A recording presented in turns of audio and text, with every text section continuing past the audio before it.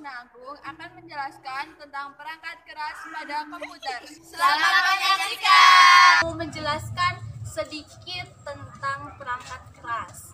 Nah, perangkat keras itu adalah salah satu perangkat yang terdapat di komputer. Bisa kita sebut perangkat keras itu yaitu adalah hardware. Nah, hardware secara umum yaitu adalah sekumpulan komponen fisik yang ada di dalam komputer yang tugasnya menyusun perangkat komputer agar komputer bisa berfungsi sebagaimana mestinya. Lang. Hai, nah sekarang aku mau jelasin eh, tentang macam-macam jenis hardware.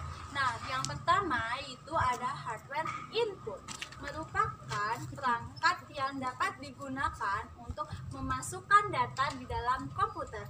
Yang kedua yaitu proses device, yaitu perangkat yang memproses mengolah data pada komputer.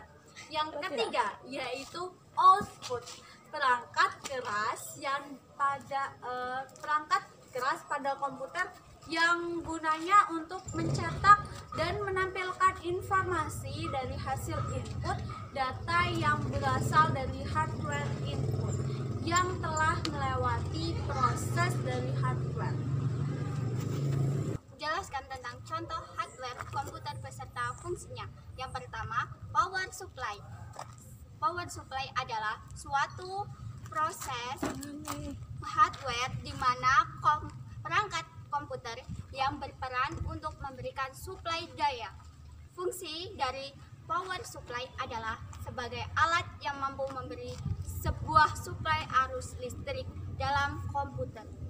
itu CPU atau disebut sebagai Central Processing Unit yaitu merupakan komponen yang berupa chip yang memiliki bentuk persegi empat sebagai pengendali suatu proses kerja komputer yang dibentuk oleh komponen-komponen lainnya fungsinya yaitu untuk mengatur instruksi program yang ada pada komputer tersebut hard disk yaitu komponen yang bentuknya eh, segi empat yang isinya platter atau pengering yaitu fungsinya sebagai booting pada komputer dan sebagai media penyimpanan operator sistem sistem pada komputer. Yang kelima VGA card yaitu komponen pada hardware yang eh, komputer yang menghubungkan proses grafik dengan peralatan output yang berupa mon- monitor.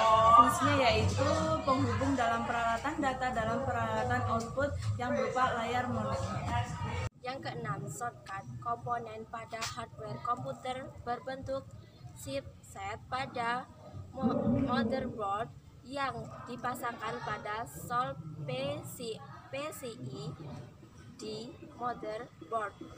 Fungsinya untuk mengelola segala jenis data yang berupa audio atau suara. Yang ketujuh adalah casing.